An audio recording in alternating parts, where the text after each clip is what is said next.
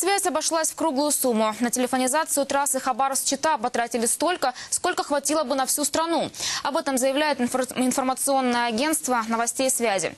Обеспечить сотовой связью главные автомобильные шоссе всей страны. Такую задачу ставит правительство.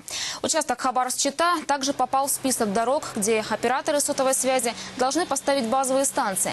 При этом государство готово компенсировать 2 миллиарда рублей. Правда, деньги выделят только в том случае, если сумма составит не более 50% совокупных затрат.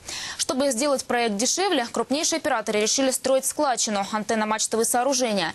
Тот факт, что затраты на телефонизацию всех ведущих автомагистралей страны фактически сопоставимы с суммами, потраченными на установку базовых станций вдоль дороги Чита-Хабаровск, эксперты объясняют сложностями строительства с нуля.